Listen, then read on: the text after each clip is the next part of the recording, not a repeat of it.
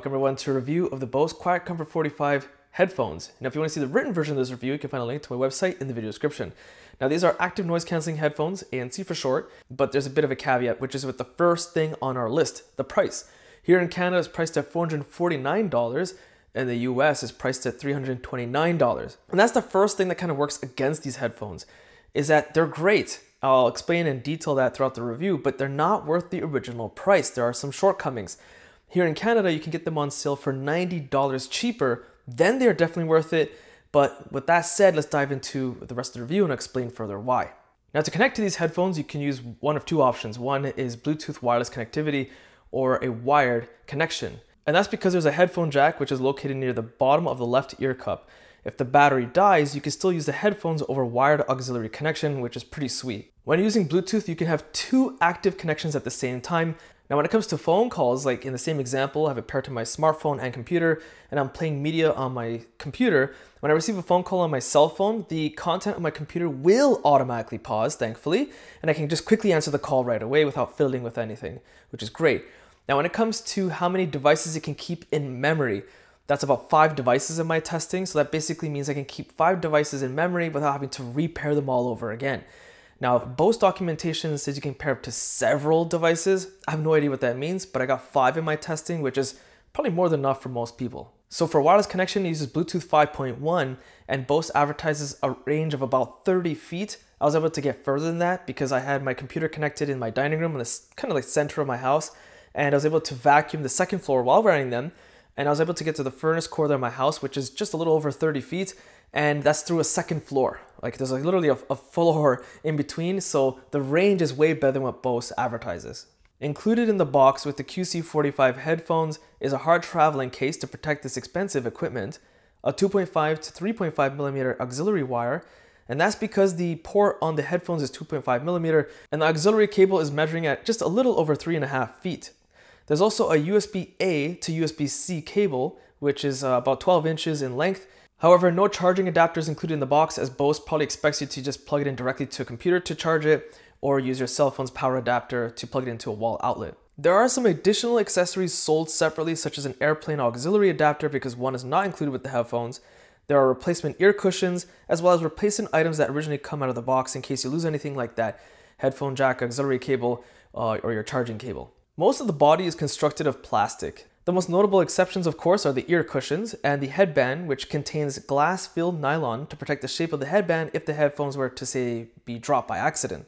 Don't expect the headphones to be water or sweat resistant because Bose doesn't advertise any IP resistance, so just be cautious if you plan to get them wet. They might not work properly. The headphones are okay to look at.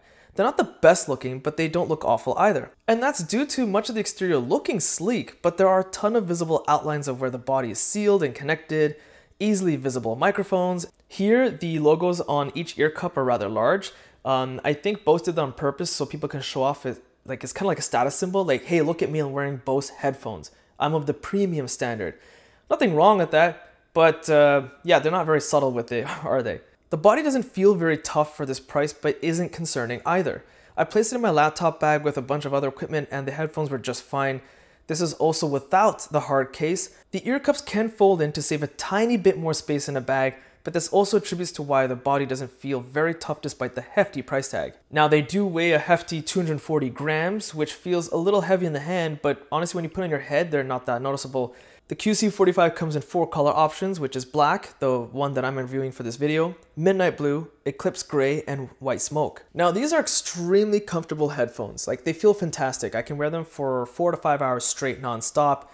My ears never get irritated, they never get hot or sweaty, my head doesn't get annoyed. Something kind of weird though is when I was doing my range testing, I talked about earlier and I was kind of vacuuming the house, is that you know, sometimes you gotta move some stuff around. And when I was leaning over, I noticed that they kind of slide forward just ever so slightly, maybe about a centimeter. Now, that's kind of annoying. And you might be thinking, well, centimeters, that's really exaggerated, isn't it? No, it's not. Millimeters are probably not a big deal, but I find that even a centimeter or two makes a discomfort. It, it feels weird and I have to kind of fix them. It's bizarre because these are over the ear headphones with huge cushioning and the headband is rather tight. Not annoying because again, they're very comfortable, but it shouldn't happen at all with such an expensive headphones. And this one is more of a moot point, more of an FYI. It doesn't work against the final score of the headphones. is that placing them around my neck, they're not comfortable. Uh, the headphones, the ear cups rather, are just too large. Turning my head left and right, it, it keeps hitting my chin. Looking down is almost impossible. You would think that turning the ear cups in would help that. Yeah, I can turn left and right, but now it's kind of choking me. My workaround personally, and I've seen other people do this, is just put them on your head like this. Looks a little odd, but this is something I personally have done many times before, and no one seems to care. It, but yeah, I just wanted to mention that. Of course, one workaround to not wearing them around your neck and just leaving on your ears is just pause your content and turn on aware mode, which I'll cover later on. The interior of the headband has a decent amount of cushioning and adds to the level of comfort. The ear cup cushions are made of synthetic leather and provide excellent comfort. The padding is soft and thick, which makes them a joy to wear. The flexibility and rotation of the ear cups are some of the best I've ever seen on headphones. Rotating them up, down, forward, and back achieves some large angles.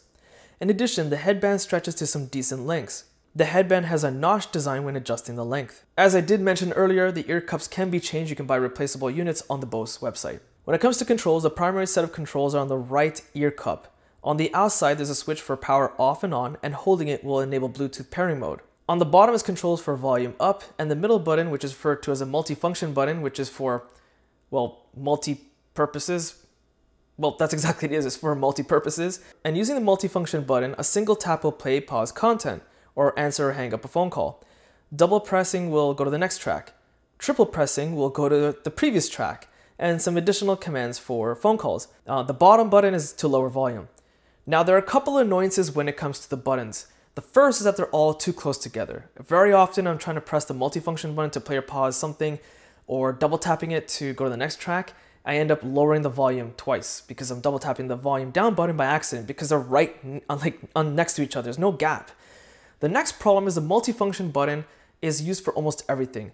Why couldn't you press and hold the volume up button to go to the next track and volume down button to go to the previous track? It might sound like I'm nitpicking, but you have to understand that when it comes to phone calls, there are seven commands for phone call controls alone for the multifunction button. It's insane. But wait, there's more. Holding it for one second turns on your phone's voice assistant and listens for commands using the headphone's microphones, which works decent even in noisy environments and is quick at providing responses. Bose doesn't list which assistants will work, but I can confirm it works with Google Assistant and Siri, and I've done my testing with Google Assistant. On the left ear cup at the back, the only button there is the action button, which allows you to turn on ANC mode or aware mode, which again, as I mentioned, I'll cover very shortly. Unfortunately, automatic detection of play pause is not present. So for example, a lot of competing headphones, even much cheaper ones, will have it so that when your headphones are on, your content's playing just fine. When you take it off, it'll automatically pause your content for you. You don't have to fiddle with the controls on your cell phone or your computer. When you put the headphones back on, it will automatically resume and play your content. Unfortunately, in such an expensive set of headphones, that's not available. It doesn't do that. Now, noise canceling, which is what a lot of people are interested, is incredible. Quiet mode, which is ANC mode, cannot be adjusted. You can't like lower the amount of noise cancellation like you could with say the XM5s or the Bose 700. Unfortunately, it's just you turn on quiet mode and it's full ANC mode to the max. However, in terms of performance, it works superb whether it's like the humming of a plane or a bus, you won't hear the engine that much. It's like almost non-existent to be honest. Um, you know, the background noise from a TV in a different room doesn't exist. It's just crazy good in terms of ANC performance. The exceptions here, of course, are like say a loud siren from an emergency vehicle driving past you on the street, um, your kids yelling at you because they hate you, which is kind of like my life. They're just yelling in your ear those will come through ever so slightly, but of course that's because ANC technology was kind of expected. Now when it comes to ANC performance compared to the Sony XM5s, which I have reviewed, I'll link to that review in the video description, which is my daily driver, uh, the Sony XM5s are just a tiny bit better.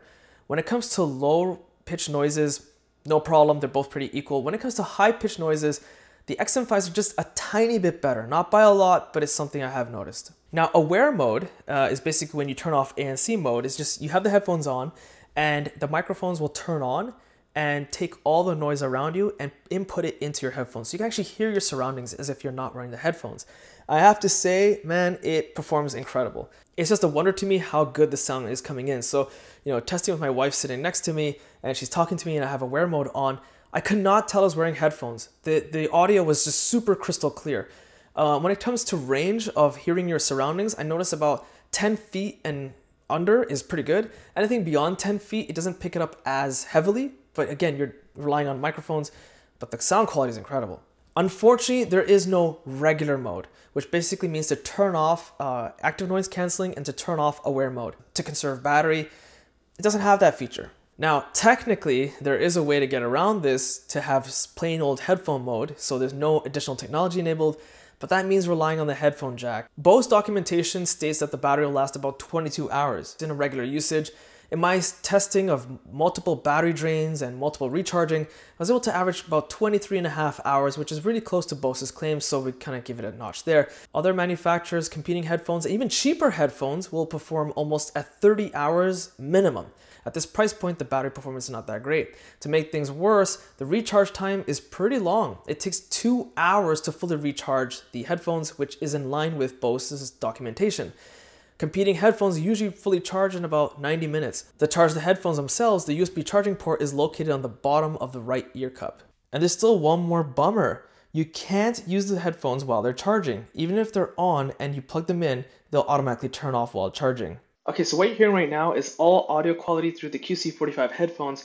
They're not the best I've ever heard on headphones. So right now I'm in a quiet environment. Well, it's my office is pretty quiet, so I want to give you a sample of what it's like.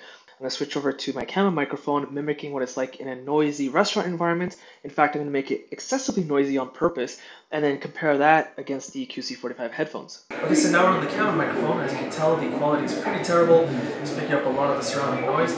Now switching over to the QC45 headphones it, will suppress a lot of the noise. It's not the best I've ever heard on headphones, but it does a pretty darn good job. So let me stop talking for a second. And as you can tell, it sounds like light muffling. Now let's switch over to me mimicking a windy environment with the fan next to me here about uh, three feet away. Okay, so I had the fan at the lowest setting, uh, it's just about three, four feet away from the camera, you can't really see it. So I'm turning in all directions to see can I really get a lot of wind noise pickup. Um, I want to give you an example what it's like in a real life scenario if it were to happen to you. Now when it comes to audio quality, this is where things are pretty interesting and cool. So out of the box, the sound profile, I mean, it's a little flat. That's kind of what you expect because I haven't adjusted the equalizer or anything. Now, when I do kind of adjust things, let's say, let's focus on the highs, for example, it's incredible, some of the best I've ever heard.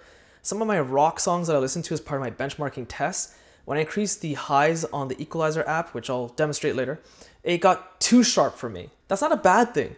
It's just that's how the songs were recorded, my benchmarking songs. Um, it just goes to show how damn good the highs can get on the QC45s. When it comes to mids, they're okay, nothing special. I mean, I didn't have to ever adjust it on the equalizer. I found that they're pretty adequate for mids.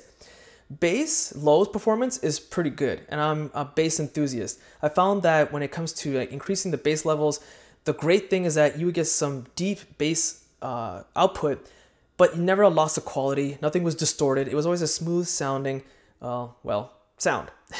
of course, when it comes to comparing the lows to the Sony XM5s, the XM5s are still way better. So when it comes to highs, I find that they're better than the Sony XM5s. Incredible. Again, overall audio performance is actually incredible.